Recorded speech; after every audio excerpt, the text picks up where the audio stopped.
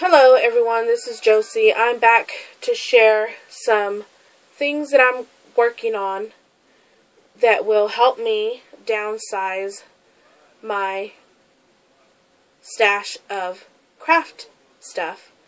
Um, this is non-paper crafting uh, shares here. I've already done some videos on my paper crafting which are um, scrapbooking kits. Uh, I believe I have one more. Well, actually, by the time this gets up, I'm not sure if it'll be up already or not. But anyways, um, I did four scrapbooking kits. So that'll be up um, on my channel. And this is going to be sewing, knitting, and crocheting.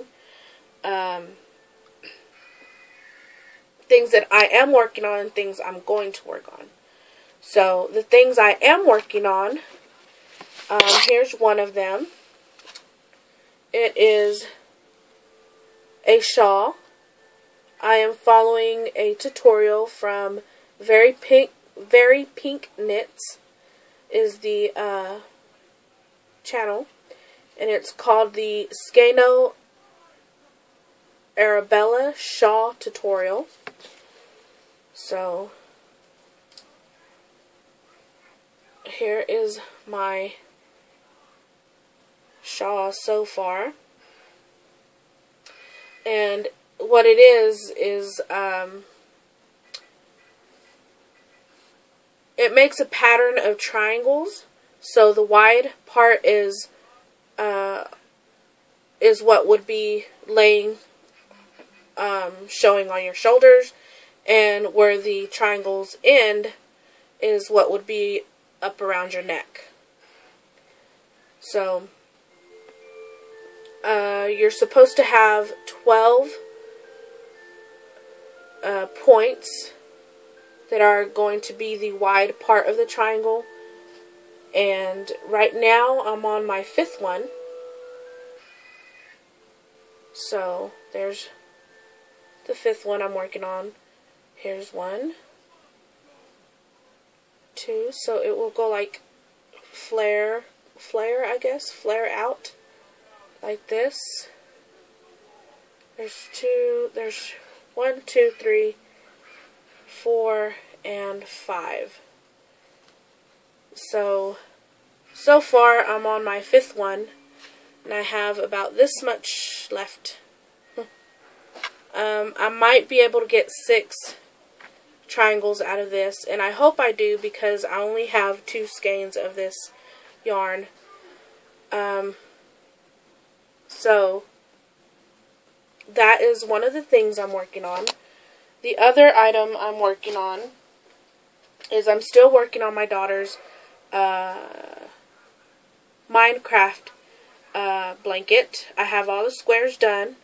Now I just need to sew them together. So I have half of the blanket sewn together. And this is the mouth part of the blanket.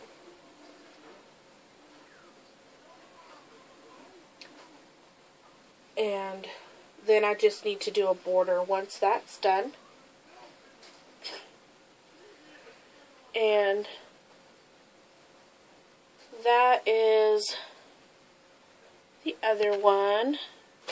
I'm also working on a snake scarf, which um, I am subscribed to Angie Wade, and she does very cute snake scarves, so I wanted to make one of her snake scarves, and she does have a little tutorial on how to do that. Um, on a loom, a knitting loom. But I'm also following Silly Fru's uh, challenge, and it's a challenge that goes on through the whole year. Um, you, it's called Knit Your Balls Challenge. And uh, if you're a knitter or crocheter, you know that a lot of us have those uh, skeins of yarn that we rolled up into a ball. Um, whether it was leftovers or because you just like working with the ball rather than a skein, which like this. so, um, I had mine, my yarn caked up because I have a uh, my husband had gotten me a yarn winder. So it makes cakes of yarn. So it looks like this. So there's this the um so you can work from it here or on the inside, but I ended up working um, on the outside of this one. And this is less than half of the skein, and on her tutorial you use an entire skein to make the scarf. And here, so there's the blue scarf. So it's going to be a blue snake with green eyes um, that's what I'm working on right now.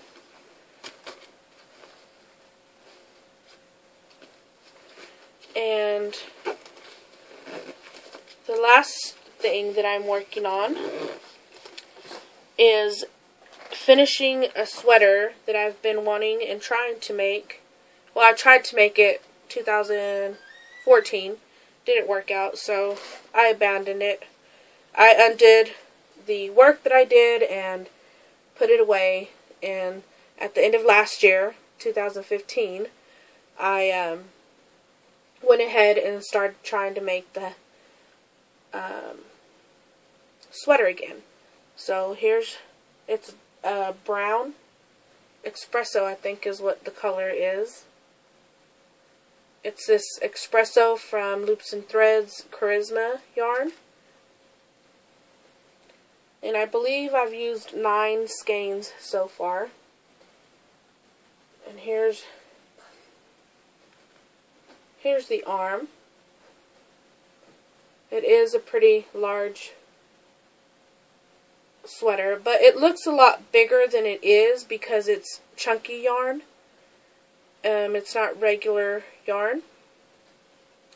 And I didn't want to do a lot of sewing, so I made the front panel all one piece and together with the back panel. So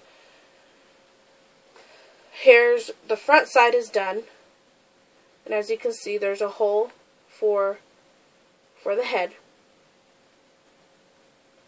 See? And from where that yarn is hanging up, that is the back of the sweater. So when I'm done, I will only have to sew up the sides, the bottom side of the sleeve, and then the side of the sweater. That's the only sewing I will have to do. So I'm almost done with this project as well.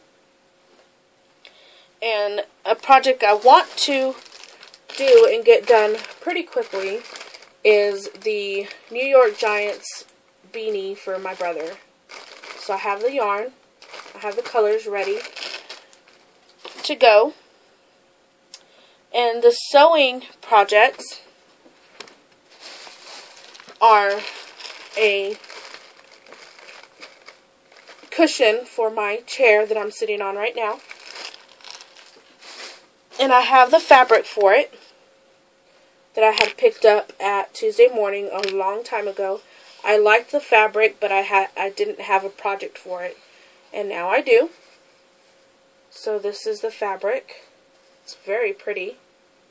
So I can't wait to do that and have it done.